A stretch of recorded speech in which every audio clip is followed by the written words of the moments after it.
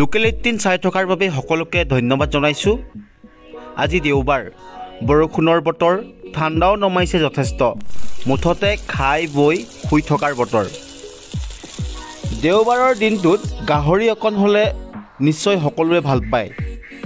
দৰ্শকসকলক আজি তিল দিয়া গাহৰিৰ এক সুন্দৰ ৰেচিপি দেখুৱাব বিচাৰিছোঁ। তিলৰ সৈতে গাহৰি ৰান্ধিলে খাবলৈ কেনেকুৱা হয় বা কেনেদৰে ৰন্ধন প্ৰকৰণ কৰিব পাৰি তাৰ এক পদ্ধতি চাওঁ আহকচোন। তিল দিয়া গাহৰি ৰান্ধিবলৈ আপুনি গাহৰি মাংস পিঁয়াজ আলু নহৰু আদা তিল আদি ল'ব লাগিব। এই তিলখিনি সুন্দৰকৈ এনেকৈ খুন্দি লওক। খুন্দাৰ আগতে আপুনি গৰম কেৰাহীত ভাজিও ল'ব পাৰে বা তিয়াইও ল'ব পাৰে। তাৰপিছত এয়া আদা নহৰুৰ পেষ্টখিনি সুন্দৰভাৱে এনেদৰে খুন্দি লওক মিহি কৰি লওক।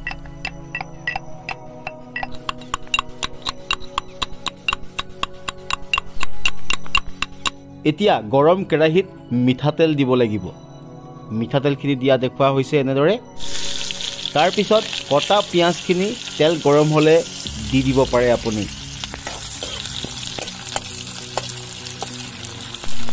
সোৱাদৰ বাবে কেইটামান কেঁচা জলকীয়াও দিয়ক। ইয়াৰ পিছত এয়া হালধি দিয়া হৈছে ৰঙৰ বাবে এক সুন্দৰ ৰঙৰ বাবে হালধি দিয়া হৈছে। ইয়াৰ পৰৱৰ্তী পৰ্যায়ত আমি কাটি থোৱা সুন্দৰকৈ ধুই লোৱা গাহৰি মাংসখিনি তেলত দিছোঁ। আৰু তেলত এনেদৰে আমি এতিয়া অলপ মচমচীয়াকৈ ভাজিব লাগিব।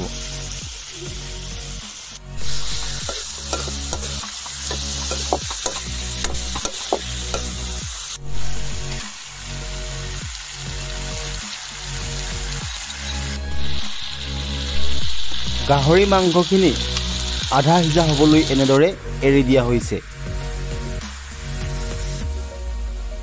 তাৰপিছত আমি আদা নহৰুৰ পেষ্ট সংমিশ্ৰণ কৰিব লাগিব গাহৰি মাংসত।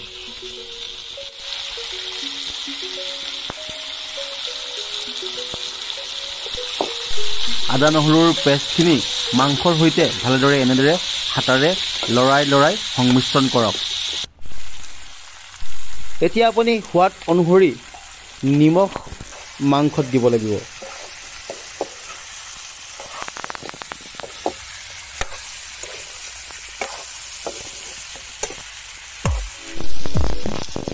এয়া দেখিছে মাংসত নিমখ দিয়াৰ পিছতেই এনেদৰে মাংসসমূহ কি সুন্দৰভাৱে সিজিবলৈ আৰম্ভ কৰিছে।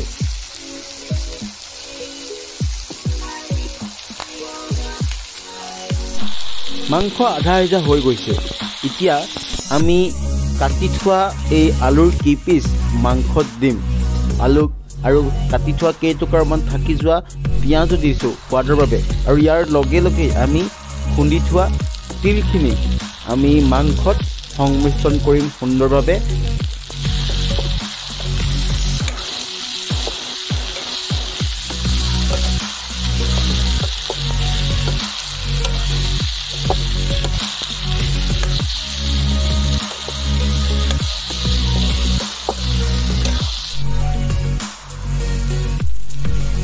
ইয়াক চাওকচোন কি সুন্দৰ তিলৰ সৈতে মাংসৰ এটা ৰং ওলাইছে।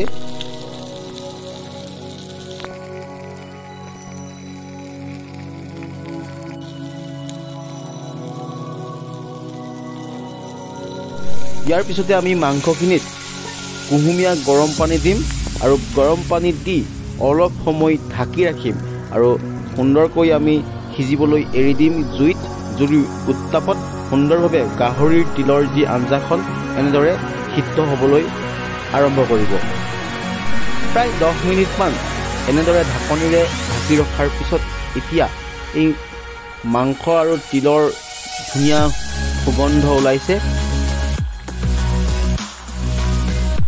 আৰু দেখিবলৈও যথেষ্ট সুন্দৰ হৈছে। আৰু এয়া দেখিছে আপোনালোকৰ গাহৰি মাংসৰ সৈতে তিল। বা তিল গাহৰি আঞ্জাখন খাবৰ বাবে ৰেডি হৈ গ'ল। এতিয়া আপুনি গৰম ভাতৰ সৈতে তিল গাহৰিৰ আঞ্জাখন সুন্দৰকৈ পৰিৱেশন কৰিব পাৰে। আপুনিও এনেদৰে অতি সহজ পদ্ধতিৰে গাহৰি আৰু তিলৰ আঞ্জাখন ঘৰত ৰান্ধি খাব পাৰে।